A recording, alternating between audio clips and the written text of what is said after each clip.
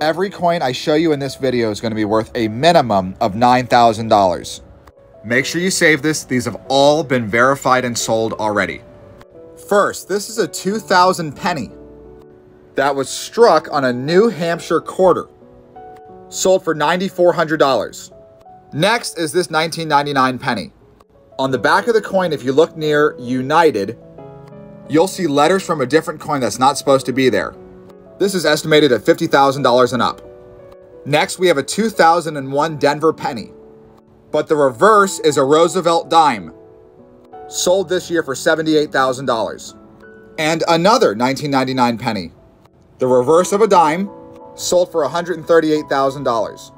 Last two, this quarter, got struck on a Sacagawea dollar, sold for 144 grand.